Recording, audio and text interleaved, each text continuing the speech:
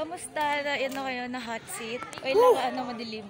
Grabe, ah, nakakabigla. Pero mas dun kasi kami nag- nagiging mas magkakilala ni Mikey. So wala naman kami tinatago sa isa't isa. So actually Kamusta? nag-enjoy kami. Okay naman.